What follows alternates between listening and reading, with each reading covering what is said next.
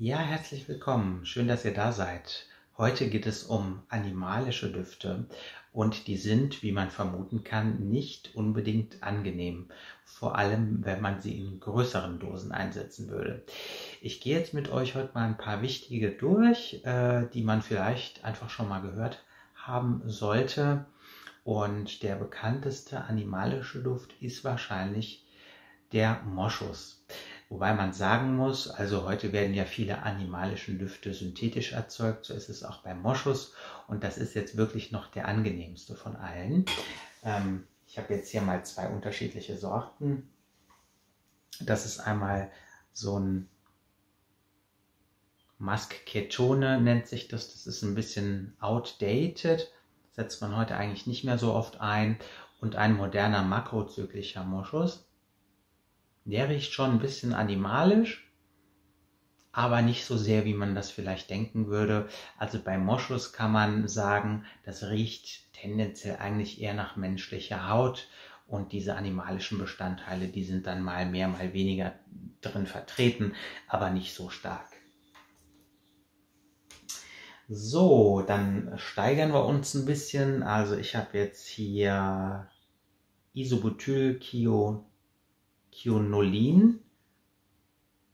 Und das riecht jetzt auch gar nicht mal so animalisch, sondern ein bisschen chemisch. Und direkt daneben habe ich das Castoreum. Und Castoreum ist tatsächlich ein Stoff, der nennt sich auch Bibergeil, weil der eben aus Drüsen des Bibers entnommen wird, aber zum Glück auch heute synthetisch verfügbar ist. Und das Interessante, wenn man diese beiden Stoffe kombiniert, also das Castoreum, das hat schon so einen, ja, animalischen Fäkalgeruch ein bisschen, wenn auch noch nicht so stark wie andere. Und wenn man die beiden kombiniert, dann hat man eigentlich schon einen typischen Lederakkord. Das ist ganz interessant, kommt natürlich auch hier sehr stark auf die Dosierung an, aber wenn ihr ein Lederparfüm macht, dann verwendet ihr möglicherweise diese beiden Stoffe. So, dann kommen wir zu einem Stoff, der im Jasmin enthalten ist. Darum ging es ja im letzten Video. Und das ist das sogenannte Indol.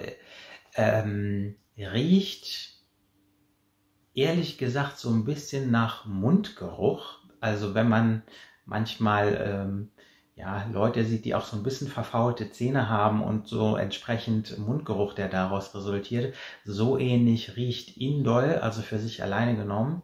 Ich habe jetzt hier mal eine 10%ige Lösung und dachte, ich mache es vielleicht mit einer 1%igen ein bisschen angenehmer. Aber viel Unterschied ist es leider nicht. Also es riecht immer noch unangenehm.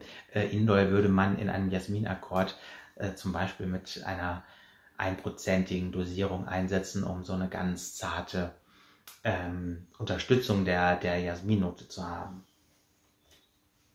So, dann habe ich hier einen chemischen Stoff Paracrysylacetat. Der riecht tatsächlich, boah, das sind jetzt 25 Prozent, das ist schon sehr stark. Also der riecht jetzt wirklich nach Pferdestall.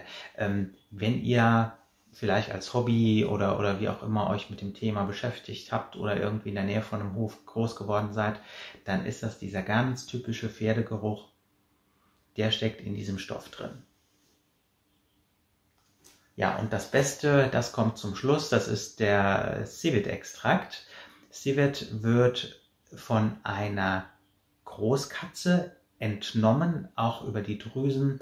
Auch da äh, gibt es zum Glück äh, synthetische Alternativen. Also ich habe hier eine synthetische äh, Variante von Civet, weil das mit diesen Haltungen, also diese Katzen werden in Käfigen gehalten und dann wird eben dieser Stoff entnommen. Ähm, und das ist für die Tiere oft traumatisierend. Also zum Teil ist es so, dass Tiere dann gar nicht mehr fressen. Ähm, anderen stecken es ein bisschen leichter weg, aber das ist nicht schön. Also deswegen bei tierischen Inhaltsstoffen würde ich persönlich immer auf den synthetischen Ersatzstoff zurückgreifen, es sei denn, es ist sowas wie Bienenwachs, wo ein Tier äh, ja jetzt nicht wirklich eingeschränkt ist in seiner Lebensqualität. So, dann gucken wir mal. So, und ich hatte schon das Vergnügen. Boah. Und das ist jetzt eine zehnprozentige Lösung.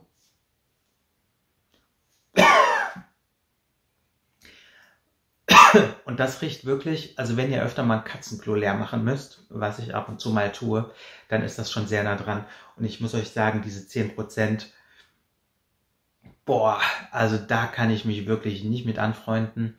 Ähm, das hat man äh, beispielsweise in einem guten, ähm, wie heißt Maiglöckchen-Akkord, da ist immer ein bisschen Civet drin. Und auch hier ist es wie bei allen Duftstoffen so, die Mischung macht's.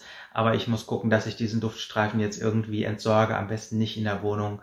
Das ist wirklich, boah, also da ist dann noch so ein bisschen Uringeruch dabei. Also es ist wirklich so ganz starker Fäkalgeruch von diesem Civet.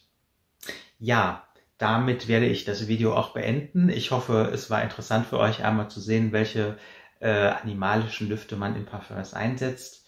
Sie verleihen dem Duft halt eben Tiefe, wenn sie in sehr kleinen Mengen eingesetzt werden, können supporten, unterstützen, bilden Synergien mit anderen Duftstoffen.